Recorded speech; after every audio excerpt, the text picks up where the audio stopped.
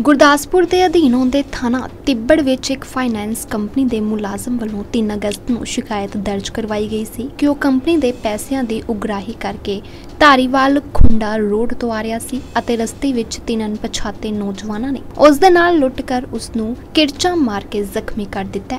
ਇਸ ਮਾਮਲੇ ਦੀ ਤਫਤੀਸ਼ ਕਰਨ ਤੋਂ ਬਾਅਦ ਸਾਹਮਣੇ ਆਇਆ ਹੈ ਕਿ ਸ਼ਿਕਾਇਤਕਰਤਾ ਫਾਈਨੈਂਸ ਕੰਪਨੀ ਦੇ ਮੁਲਾਜ਼ਮ ਲਵਪ੍ਰੀਤ ਨੇ ਫਾਈਨੈਂਸ ਕੰਪਨੀ ਦਾ 1 ਲੱਖ ਰੁਪਏ ਹੜੱਪਣ ਲਈ ਆਪਣੇ ਦੋਸਤਾਂ ਨਾਲ ਮਿਲ ਕੇ ਲੁੱਟ ਦਾ ਡਰਾਮਾ ਰਚਿਆ ਸੀ ਅਤੇ ਆਪਣੇ ਆਪ ਨੂੰ ਸੱਟਾਂ ਵੀ ਖੁਦ ਹੀ ਲਗਾਈਆਂ ਸੀ।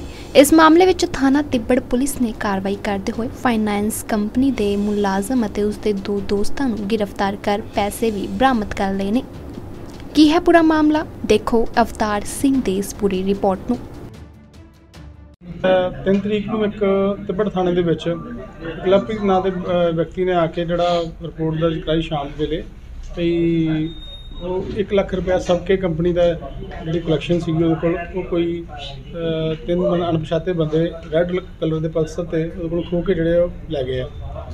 ਤੇ ਉਹਦੀ ਜਿਹੜੀ ਹੈ, ਉਹਨੂੰ ਇਨਵੈਸਟੀਗੇਟ ਕਰਨ ਵਾਸਤੇ ਜਿਹੜੀ ਹੈ, ਦੋ ਟੀਮਾਂ ਬਣਾਈਆਂ ਗਈਆਂ ਐਸਐਚਓ ਤਿੱਬੜ ਤੇ ਐਸਐਚਓ ਧਾਰੀਵਾਲ ਦੀ ਨਿਗਰਾਨੀ ਹੇਠ।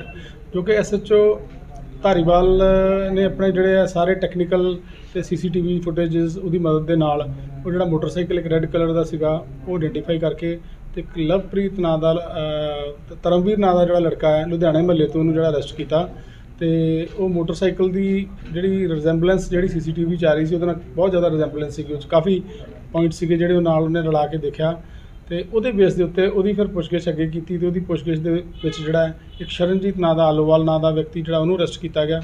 ਉਹਨਾਂ ਨੇ ਫਿਰ ਸਾਰਾ ਜਿਹੜਾ ਦੋਨਾਂ ਨੂੰ ਅਰੈਸਟ ਕਰਨ ਤੋਂ ਬਾਅਦ ਜਦੋਂ ਇਹ ਗੱਲ ਕਲੀਅਰ ਹੋਈ ਵੀ ਇਹਨਾਂ ਨੇ ਜਿਹੜਾ ਤੀਜਾ ਮਦਈ ਸੀਗਾ ਲਵਪ੍ਰੀਤ, ਇਹਨਾਂ ਨੇ ਤਿੰਨਾਂ ਨੇ ਆਪ ਹੀ ਰਲ ਕੇ ਇੱਕ ਜਿਹੜੀ ਹੈ, ਇਹ ਵਿਉਂਤ ਬਣਾਈ ਸੀ ਪੈਸੇ ਜਿਹੜੇ ਹੜਪਣ ਦੇ ਖਾਤਰ ਕੰਪਨੀ ਦੇ ਤੇ ਆਪ ਹੀ ਆਪਣੇ ਜਾਲੀ ਸੱਟਾਂ ਲਾ ਕੇ ਤੇ ਇੱਕ ਡਰਾਮਾ ਰਚਿਆ ਸੀਗਾ। ਤੇ ਇਹ ਤਿੰਨਾਂ ਜਣਿਆਂ ਨੂੰ ਜਿਹੜਾ ਅਰੈਸਟ ਕਰਕੇ ਅਰੈਸਟ ਕਰ ਲਿਆ ਗਿਆ ਤੇ ਇਹਨਾਂ ਦੇ ਕੋਲੋਂ ਜਿਹੜੀ ਖੋਈ ਖੋਈ ਹੋਈ ਜਿਹੜੀ ਰਕਮ ਹੈਗੀ ਹੈ 99500 ਰੁਪਈਆ। ਉਹ ਲੱਖ ਰੁਪਇਆ ਨਹੀਂ ਸੀ, ਉਹ 99500 ਸੀਗਾ। ਉਹ ਸਾਰੀ ਦੀ ਸਾਰੀ ਰਿਕਵਰ ਕਰ ਲਈ ਗਈ ਹੈ।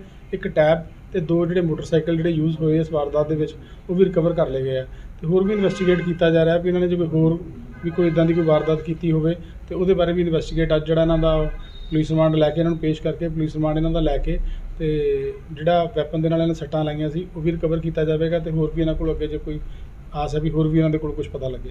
ਜਿਹੜੇ ਨਹੀਂ। ਮਦਈ ਦੇ ਨਾਲ ਦਾ ਜਿਹੜਾ ਸ਼ਰਨਜੀਤ ਇੱਕ ਹੈ ਉਹ ਪਹਿਲੇ ਇਹਦੇ ਨਾਲ ਸਬਕੇ ਦੇ ਵਿੱਚ ਕੰਮ ਕਰਦਾ ਸੀਗਾ ਬਟ ਹੁਣ ਉੱਥੋਂ ਛੱਡ ਕੇ ਕਰੀਬ ਸਾਲ ਕੁ ਪਹਿਲਾਂ ਇੱਥੋਂ ਛੱਡ ਗਿਆ ਸੀਗਾ। ਹੁਣ ਇੱਕ ਫਿਊਜ਼ਨ ਕੰਪਨੀ ਹੈ ਦਸੂਏ ਦੀ। ਹੁਣ ਫਿਊਜ਼ਨ ਕੰਪਨੀ ਦੇ ਵਿੱਚ ਉਸ ਤੋਂ ਬਾਅਦ ਕੰਮ ਕਰਦਾ ਸੀ ਉਹ ਛੱਡ ਕੇ। ਇਹਨਾਂ ਨੇ ਆਪਸ ਦੇ ਵਿੱਚ ਜਿਹੜਾ ਸ਼ਰਨਜੀਤ ਹੈਗਾ ਵਾ 49500 ਰੁਪਏ ਉਹਦੇ ਕੋਲੋਂ ਰਿਕਵਰ ਕੀਤਾ ਹੈ ਤੇ 40000 ਰੁਪਏ ਜਿਹੜਾ ਹੈਗਾ ਜਿਹੜਾ ਮਦਈ ਹੈ ਲਵਪ੍ਰੀਤ ਕੋਲੋਂ ਰਿਕਵਰ ਕੀਤਾ ਹੈ।